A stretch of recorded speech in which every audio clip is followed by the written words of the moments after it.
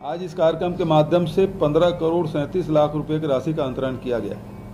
इसमें तीन करोड़ छत्तीस लाख रुपए गोबर खरीदी के और 12 करोड़ एक लाख रुपए के गौठान समिति और स्व सहायता समूह को लाभांश की राशि शामिल। लगातार इस भेंट मुलाकात कार्यक्रम में जहाँ भी गया हूँ, गोधन न्याय योजना को लेकर हमारे पशुपालक भाइयों, किसानों और स्व सहायता समूह और गौठान समितियों से में अच्छा उत्साह नज़र आ रहा है। इस योजना से हमारे ग्रामीण भाइयों के आय बढ़ाने के साथ साथ रोज़गार के अवसर भी बढ़े हैं। हमारी माताओं बहनों को नई आर्थिक ताकत मिली है। गौठान के माध्यम से केवल वर्मी कंपोस्ट या गोबर खरीदी के काम नहीं हो रहा है, बल्कि वहाँ सब्ज़ी बाड़ी भी लगा रहे हैं, कुक्कुट पालन भी हो रहा है, बकरी पालन हो रहा है, मछली पालन हो रहा है, मशरूम का उत्पादन हो रहा है। अब तो रूरल इंडस्ट्रियल पार्क के माध्यम से वहाँ तेल घानी भी लगाए, लगा रहे हैं, दाल मिल भी लग रहा है, हालर मिल भी लग रहा है। तो और अन्य गतिविधि भी इससे संचालित हो रहा है। तो रोज़गार के नए अवसर मिल रहे हैं और ये गौठान जो है रूरल इंडस्ट्रियल के पार्क के रूप में ये विकसित हो रहा है। इससे निश्चित रूप से गाँव के लोगों को रोज़गार और छत्तीसगढ़ में लगातार उत्पादन का विकेंद्रीकरण हुआ है।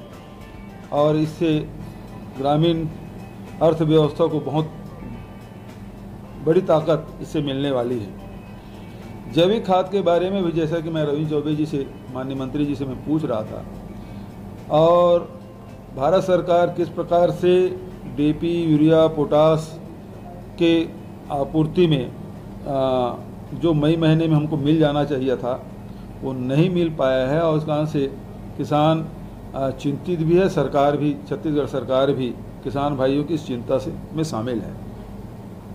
यदि भारत सरकार इसी प्रकार से उपलब्ध डीएपी और यूरिया की आपूर्ति में कमी करे तो हम लोगों को सबसे पहली बात जो अभी मंत्री जी ने जो बात बताया कि सुपर फास्फेट की आपूर्ति में तेज़ी लाना चाहिए ताकि उसकी जो रासायनिक खाद डालना चाहते हैं, उसकी पूर्ति डीपी में फास्फेट भी रहता है और यूरिया भी रहता है।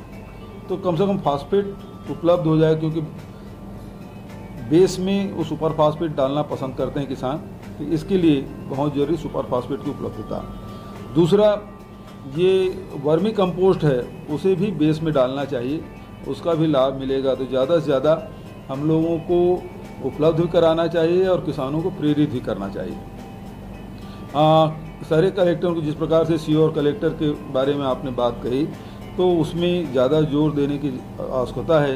यदि डीएपी भारत सरकार उपलब्ध न करा पाए तो फिर हमारे पास और कोई रास्ता नहीं बचेगा कि हम ज़्यादा से ज़्यादा वर्मी कंपोस्ट का उत्पादन करें और किसानों की फ़सल उत्पादन में कोई कमी ना हो। इसके लिए हम लोगों को आगे बढ़ना चाहिए। तो इन्हीं शब्दों के साथ